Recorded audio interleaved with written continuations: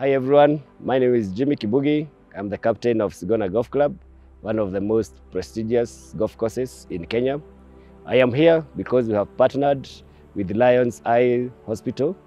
This is uh, for the worthy cause of treating the patients who have been uh, affected by the cataract disease. And also these are the people who are less privileged in the society. So we are coming together as golfers, doctors, and the hospital so that we can mobilize resources to enable us uh, treat these patients uh, and we give them some good care. We will have a golf tournament that will be held on 2nd of June at Muthaiga Golf Club. Uh, this will be uh, available to all golfers and everyone is welcome. Uh, charges are 3,000 for per golfer or 10,000 for a four, four ball. Uh, we are all invited and we see you as we sort out this worthy cause. Thank you very much.